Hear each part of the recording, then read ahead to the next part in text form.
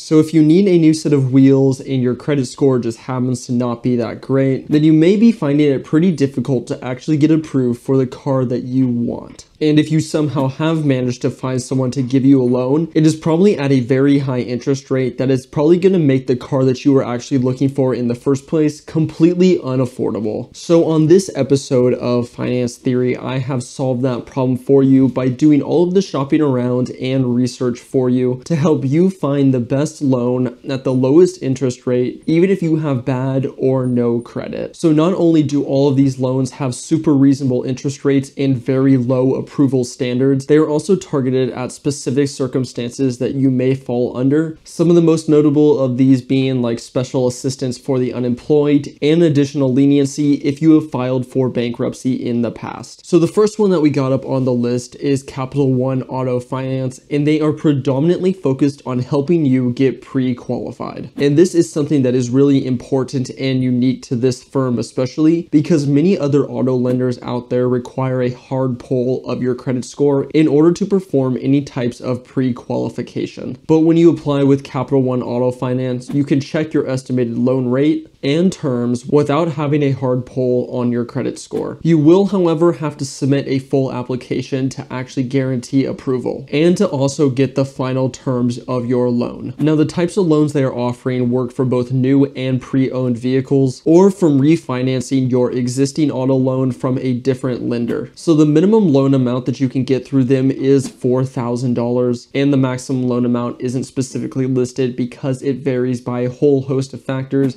including your credit history, current score, and income. The one key note to actually have access to this loan is that you must use it with their network of 12,000 different auto dealers, and you obviously have to be over 18 and live within the United States. There is also an additional minimum monthly threshold here, and that ranges anywhere from 1500 to 1800 a month. And that difference is dependent on your credit score. And one last thing that is a cool additional feature to their website is they allow you to shop directly for used and brand new cars really well applying for the loans. Moving into the next loan now, we have Prestige Financial Group, whose predominant focus is on helping individuals who have filed for bankruptcy in the past and is something that still appears on their portfolio. And as I'm sure you well know, this is a super critical feature because bankruptcies look very poorly on credit scores and in turn obviously affect your ability to actually qualify for loans. But it's important to keep in mind that if you did file for Chapter 7 bankruptcy, you need to make sure that all of your forms and reports are still available on the courthouse websites. And if you filed Chapter 13 bankruptcy, you also need to make sure your repayment plan must be approved in order for you to qualify for a loan. Another great feature here about Prestige is that they offer a interest rate reduction program, which is available to anyone who gets pre-qualified and is able to make their payments on time. And they actually go pretty far here, allowing you to reduce your interest payment by 0.5% for three consecutive months, with a maximum capped at a 2% reduction annually. And although that is very useful, there is one small catch here, and that is your interest rate is not able to drop below 14%, something which is still fairly high. An additional helpful feature is that they offer both individual and joint loan applications applications, and that means that if you apply with a co-borrower that has a relatively high credit score, you may be able to reduce those interest rates even further. But please note that these co-borrowers are not the same as co-signers as they are not allowed within the Prestige platform. So in order to meet the qualification standards, you must have a monthly minimum income of $2,250 if you are going to be submitting an individual application, but if you are submitting a joint application, that number goes up to 2,700 150 in monthly income. Also note that self-employment income is not counted on this application and is unfortunately something that you are not able to include. So now let's move into the next loan, which is serviced through Credit Acceptance Corp.